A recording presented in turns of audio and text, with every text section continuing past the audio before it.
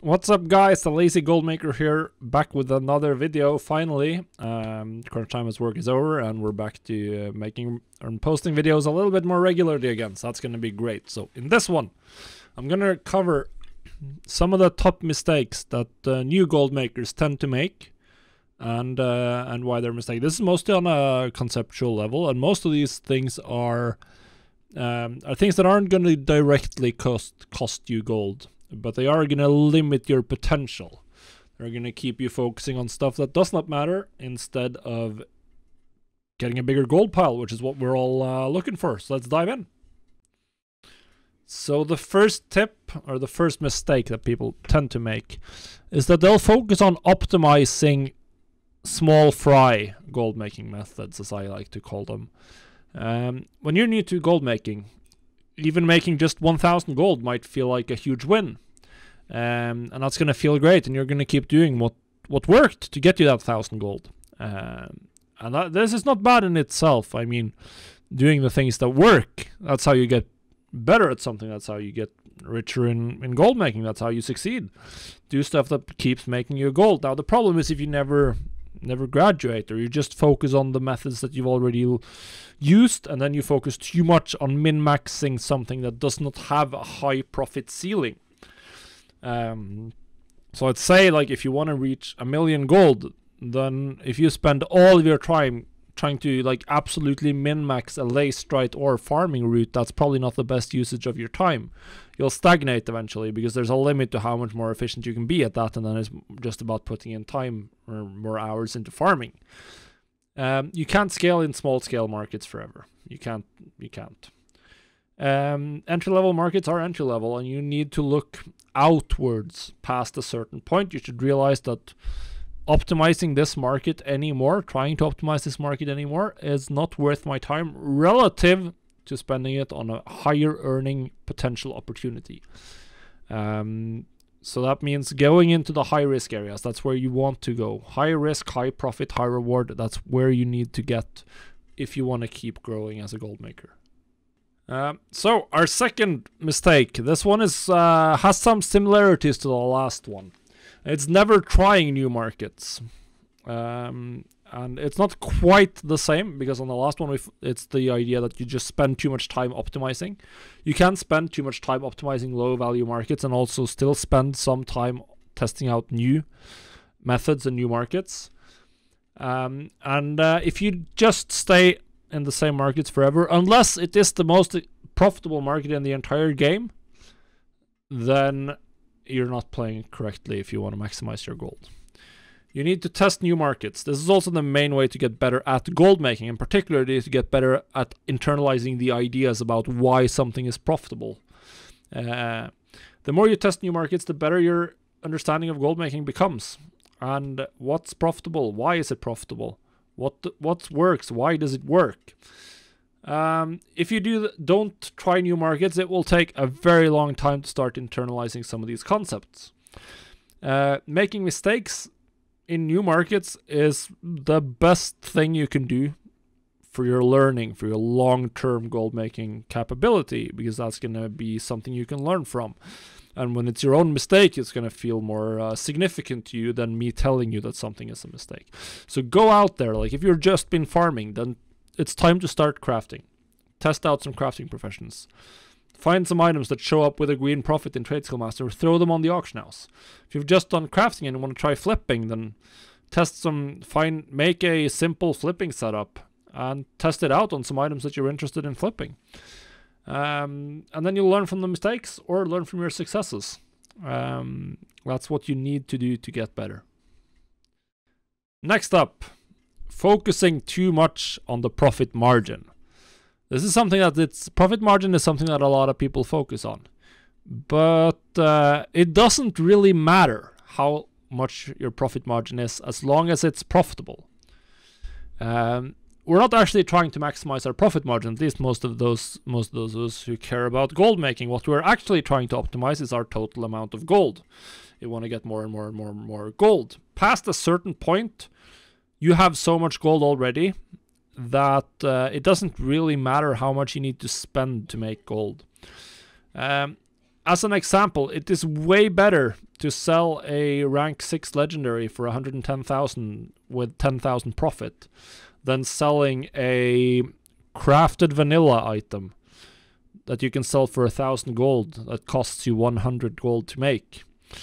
That last one has a 10 times profit margin in terms of the crafting cost, whereas the first one has just 10%.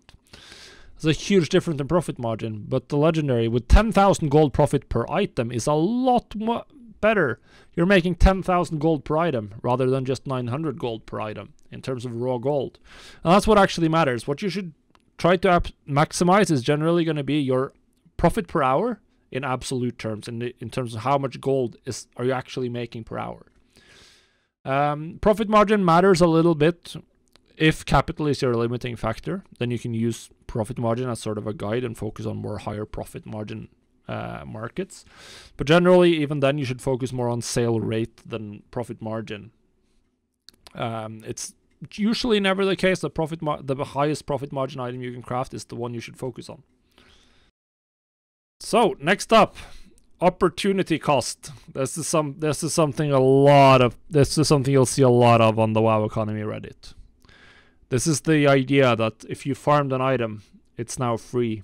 Just because you didn't pay for an item doesn't mean it doesn't have value. People talk about opportunity cost, but I don't think that's the wrong way to think about it. What you need to think about is the fact that any item you have has a value, and that value is whatever it can be traded for on the auction house, what you can sell it for. So if you're going to use that to craft, then it better be worth more than what you could just sell the item for on the auction house. Otherwise, you're losing out on potential value.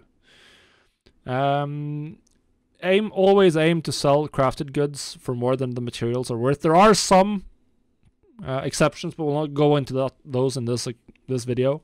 There are some exceptions, primarily with intermediate materials. Uh, your time is not free, and neither are your materials, regardless of how you got them. They're not free. They're worth however much you can sell them for on the auction house right now. They're not worth what you paid for them. They're not worth um, what um, what you sold them for. They're worth what you can actually sell them for right now. All right, another one the analysis paralysis. Analysis is sort of a trap. Analysis is fine in and of itself, but it's not actually where you learn. And there's a trap with analysis, and that analysis can often feel like you're actually doing something, but you're not. You're just looking at prices. You're not actually playing the auction house. You're not actually learning, because you can only actually learn by doing something, in my opinion, though. So don't don't look at the price graphs on the Undermine journal go into the game, test some ideas out. That's where you learn. You learn by making some initial simple trade skill master settings for something that you think is profitable, and then you just test them out over a week, and then you see if it works. Um, don't spend too much time analyzing like your server um, or specific professions or whatever if you're starting out. Just go craft something. Go try to flip something. Um, like seriously, just post some stuff on the auction house and figure out what sells and go from there. No one, the optimal strategy in gold making is always very specific to you personally. Like the what's optimal for me might not be completely optimal for you. Of course, if you're if you're talking about some ideal like I'm a perfect robot, then we're all going to eventually find the same optimal setup. But we're not. We're not robots. We play at different times of the day. We have different preferences in what we want to do in game. Uh, we have different combinations of characters and professions. All of which means that the exact optimal approach for you in the real world is going to be different from mine. The only way to figure it out is to test it out. So go out there and test things out. Don't sit and analyze Wowhead or read WoW Economy for hours upon hours or even my blog. Don't read. Go and apply. Import the TSM settings and go to the auction house. That's where you can make gold. That's where you can learn to make gold. And then the last one. And this one is the only one on this list that will actually cost you money if you if you do this mistake is trying to reset the market without understanding market resets. This is, if you've been following WoW Economy for a while, I'm sure you've seen po posts of people who just bought out and tried to reset um, something like Eternal Crystals or some other high volume crafting material. And then they got burned because they do not understand why or how or when you can actually do resets. resets are not a particularly important uh, gold making strategy. It can be profitable, uh, definitely, but unless you're rich already, it doesn't matter because you can't reset unless you're rich. If you want to learn how to reset, which you which could be, um, then you need to focus a little bit on understanding the supply situation. Will people be able to or have a lot of supply to come in and undercut me after I've bought out the market? You need to know that. That's the number one mistake people do is that they don't realize that okay, I'll buy out all the eternal crystals, but there are literally thousands of eternal crystals that people have ready to just post on the auction house again, and I'm never gonna, I'm gonna run out of gold way before they run out of crystals. So if you want to learn how to reset markets, never try to reset the market if it's going to cost you more than 10% of your gold. Never. That's after the initial buyout. So probably the initial buyout needs to be less than 5% of your gold. Then you can learn from there take it from there. Um, and um, yeah, just just don't spend all your gold on resetting. It's the only, literally the only way to lose all of your gold is to try to that I know of is to try to reset the market without understanding why it works and then screwing up and buying something that where you'll get undercut to death. So guys, that was it. Thanks for watching. Hopefully you learned something. This was more on the conceptual level. Uh, because that's where I like to to focus on this stuff, um, on like the ideas about around gold making. Um, you could focus on specific like market mistakes, but it doesn't matter so much because what really matters is to enhance your understanding of the total gold making game, what works and why does it work. And anything that's going to keep you from learning that is going to hold you back long term. So hopefully you enjoyed the video. Leave a like, leave a comment down below. Subscribe to the channel. It really helps me out. And we'll see you on the next video. Goodbye, guys.